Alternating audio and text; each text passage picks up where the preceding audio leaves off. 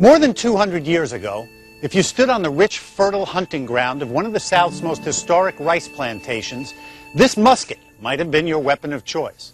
Today, you'd stand on a breathtaking tee box with this driver in hand, about to enjoy a round of golf on one of the most picturesque and renowned golf courses that Myrtle Beach has to offer, Wachesaw Plantation East in scenic Murrells Inlet, South Carolina.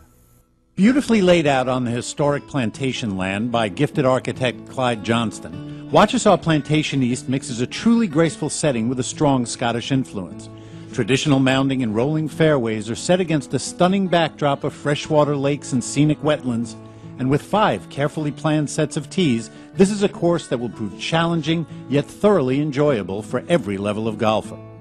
Wachesaw East maintains a different sort of historic pride even today site of four nationally televised LPGA events, the best players in the world, including Annika Sorenstam, Laura Davies, Karrie Webb, and last event's winner, Grace Park, have all competed right here. So whether it's wanting to test yourself against a tournament tough layout, take advantage of some fantastic teaching or practice facilities, or just wanting to enjoy a wonderful, relaxing day on the links, you can create some golf history of your own at Wachesaw Plantation East.